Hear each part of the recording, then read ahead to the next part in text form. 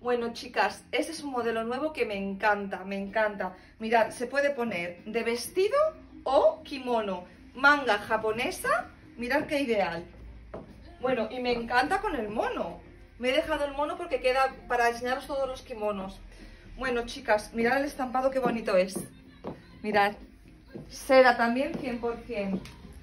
¿Vale? Os sigo enseñando. ¡Hasta ahora!